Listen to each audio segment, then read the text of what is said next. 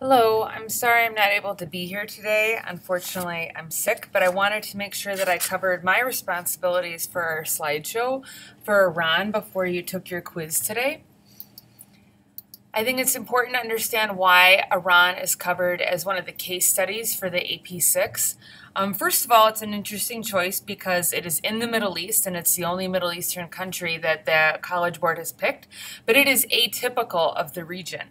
It's surrounded by Arab countries and it's not an Arab country. It's it, it it's not um, culturally um, or linguistically connected in the same way.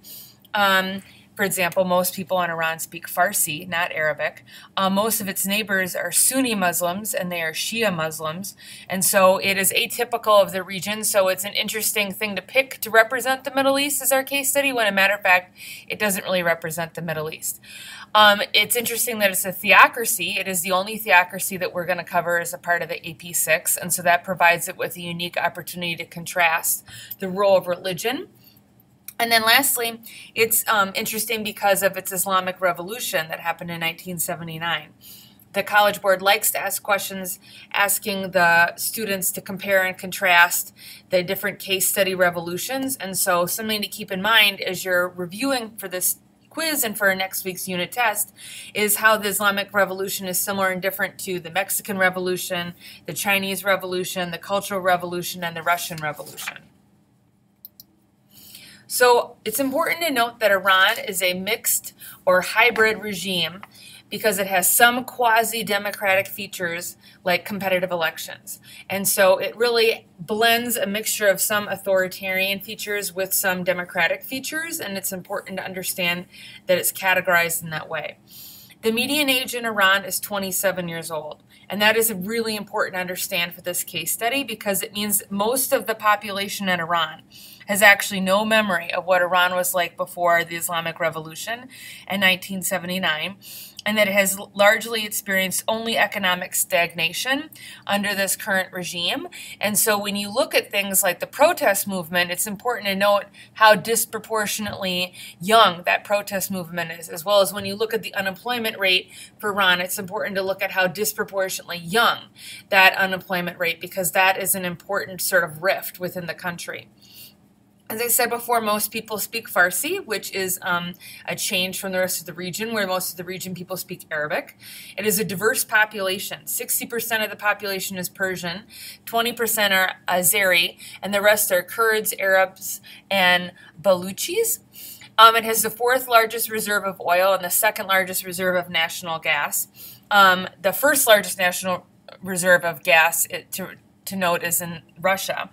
Um, this is an important point of comparison between the AP6. All of the AP6 have um, significant amounts of oil, and so that is important.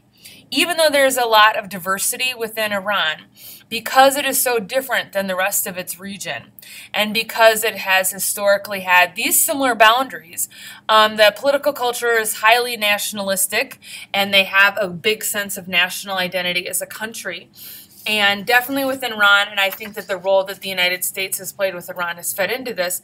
There's very much an us versus them type of mentality, and you know the, the Iranian people feel very united against the United States, and sometimes feel very united against the rest of the world, even looking at how the Iranian government is organized, um, the country is divided into 30 ostans, which are the equivalent of provinces, but they have limited authority.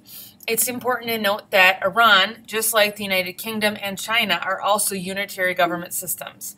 Um, frequently, the College Board likes you to compare how unitary governments um, are different or similar and how federal governments are, are similar or different. So it's important to keep in your memory banks which category each country is in. There are two really unique social institutions um, to Iran that are not in, for example, the other countries. If we take a look first at the Revolutionary Guard, they were set up um, after the Islamic Revolution in 1979. They were a paramilitary force, and they were seen as the core of the faithful. And it was tasked with defending this new regime and destroying rivals, including, for example, organized communists, organized ethnic groups, things like that. Um, they also fought in the Iran Iraq War. Um, and they they are controlled by the supreme leader. But in recent times, they have become more independent. The Revolutionary Guard has its own ministry, Army, Navy, and Air Force units. The Revolutionary Guard is deeply involved in Iran's economy, and that's one of the ways that it has become more independent. They are involved in Iran's economy both legally and illegally. Um, they smuggle goods into Iran and they make money off of it, but they also own economic assets like construction and telecom industries, which are legal, and they use that as a way to, you know, keep their national power. The other institution I want to talk about is the Basij. Um, it is a people's voluntary militia, and it was formed after the revolution as well as a grassroots civil defense force. It wasn't as well trained as the Revolutionary Guard, um, but it definitely promoted a nationalist and religious fervor. And um, Iran depended on the Basij more during the Iran Iraq War because more of the Revolutionary Guard was off fighting in Iraq. It is also controlled by the supreme leader. Nowadays, it has turned into more of a public morality force where it has like gone to um, enforcing a very specific interpretation of Islam and trying to make people behave in a certain way. Um, in 2009, it was also used to break up protests. And its members have historically come from poorer backgrounds, um, and they use this membership as a way to increase um, benefits, like increasing access to education in Iran, and it's seen as a way for upward mobility. The ethnic and national identity of Iran is important to understand. As I said before, like 60% of the country is Persian. Okay, but there are three significant minority groups. The first are the Azeri. They're 16% of the population. They're in the north. Um, they are also Shia, but they don't speak Persian, and they're related ethnically to Azerbaijan, which is a neighbor. Um, there has been increasing tension between the Azeri and um, the government of Iran because there's been increasing tension between the Iranian government and the Azerbaijani government. And so that has contributed to this tension. The group that you hear the most about, though, is the Kurds. The Kurds are 10% of the population. They organized an armed revolt in 1979, and they want to join with the Kurdish area in Iraq and Turkey. Um, there is a growing area in Iraq of Kurds that, since probably about 1991, have been slowly trying to sort of organize for themselves to be independent from Iraq. They do not have independence from Iraq, but they do have some limited autonomy. They're also organized um, Kurds who are fighting for freedom. They would call it freedom in Turkey as well as um, in and and and they really want to form like an, a country called Kurdistan, and they want to have political independence. Um, Iran does obviously not want to have them become politically independent. It does not want to lose that territory, and so this is an area of increasing tension in Iran. Um, the last group are the Baluchis. They're on the border with Pakistan and with the other Arab neighbors on the Persian Gulf. They are Sunni, so they are also Muslim, but they are from, of a different, you know, type of Islam. And um, they complain of discrimination and have organized protests, and there have been instances of violence. One thing that I think is important to note is that Iran, unlike some of the other countries that we have covered, like the United Kingdom and, Ch- and China, has not devolved power to ethnic and religious minorities as a way of appeasing them. Okay? Non Persians have historically had few opportunities for education or media in their own native languages, and there are very few Sunnis in government. And so I could see a question on the AP exam or questions on the AP exam asking you to sort of compare and contrast how Iran deals with its ethnic and national minorities in comparison to other countries. Factions are important to understand. There are two primary factions in Iran. Um, if this term factions is hard for you to understand, think about it in terms of the United States. Within the Republican Party, there are multiple factions. Like there's the Tea Party faction, and then there's more of the mainstream Republican faction. Or within the Democratic Party, there's the Bernie Sanders, very socially liberal crowd, and then the more moderate mainstream Clinton crowd. Okay? Um, but the two primary factions in Iran are the conservatives and the reformers. Okay, the conservatives oppose democratization or the return of the faith um, to being in the social arena as opposed to the political arena. They believe that faith must be central in politics, and they are definitely supported by the Revolutionary Guard. They also, as a separate question, do not want reform and liberalization because they see that as being imposed upon them by the West, and they are worried that that is going to um, water down the influence of Islam in um, Iranian society. The supreme leader does not favor economic reform or liberalization because he does not want to do it um, and with this concern of watering down the role of Islam, and also he does not favor increased positive relationships with the West. So it's important to understand that he's in that camp. There's also a reformer camp, and they call for a reduced role for Islam in politics and favor rule of law and democratic reform. They do not believe that political power can be re- reunited with Islam until the re- return of the Mahdi um, Mahdi. Um, they feel that politics is corrupting and should be kept at a distance. And this faction has agreement on political change, but not necessarily on economic change. Okay?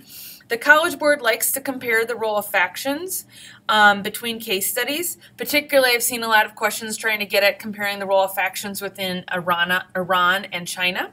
And so I think it's important to not lose your understanding of the role of the populace versus the elitists or the princelings in China.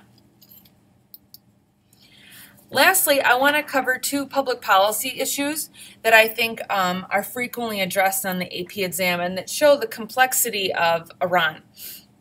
Because Iran is a um, Islamicist country and because it believes in Sharia law, there could be an assumption that you would have that they would be very conservative on issues of drug and alcohol use and on family planning. It's important to understand that Iran does have rules against consuming alcohol or drugs because that's against Islam, and they don't have a difference between Islamic rules and government rules. Um, but despite this, there's been an increasing role of smuggling, and drug use has really become a significant public health problem and because now there are 1 million drug dependent users in Iran, according to the United Nations. And these drugs are coming in from Pakistan and from Afghanistan. And the Iranian government has realized that punishment doesn't solve this problem. Historically, they've used punishment as a way to try to deter people. Like they've given harsh punishments for using and they've even executed people for being dealers. They have realized that this punishment is not actually solving the problem, and so they have increased the role of treatment centers and rehab centers in the country and increased um, the numbers and funding for them. And so, to me, this is an example of how the government is focused on promoting a particular interpretation of Islam, but they also want to have public policy that works. And so I think that that is interesting that even though this is considered something forbidden, they still want to help people be successful. The other example that I wanted to talk about was family planning. Um, Iran has had a variety of different rules about fam- family planning, but currently the um, interpretation of Sharia law allows for birth control. This interpretation um, changed in the 1980s when the ec- economy faltered and Iran's unemployment started increasing. And so, in response to this, in 1989, Ayatollah Khomeini changed its national family planning program and set up these goals that women should wait three to four years between pregnancies, and that women should only have kids between the ages of 18 and 35, and that women should try to only have three children. Um, as a way to try to promote this, um, they restricted maternity leave after three kids starting in 1993.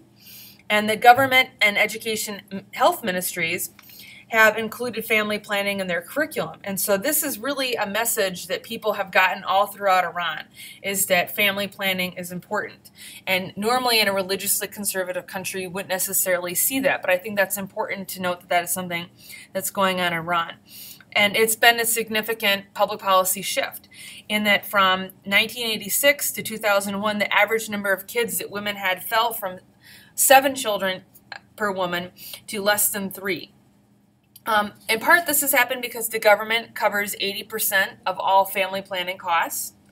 Um, one of the strengths of Iran's promotion of family planning is the involvement of men. Iran is the only country in the world that requires both men and women to take a class on modern contraception before receiving a marriage license. It has a government sanctioned condom factory. And um, the government also promotes the idea that men should get vasectomies. Um, and it doesn't account for the majority of like the way that people do family planning in Iran, but it is an example of like how the, the, the government in Iran has really tried to increase um, the role of family planning as a way to try to control their um, population. Um, they also obviously have, have done a lot to try to promote um, female sterilization as well as the use of other um, forms of birth control. I think it would be possible when you're thinking about ways to compare and contrast Iran and China, to me, how they've dealt with the desire to decrease their population would be another area for comparison.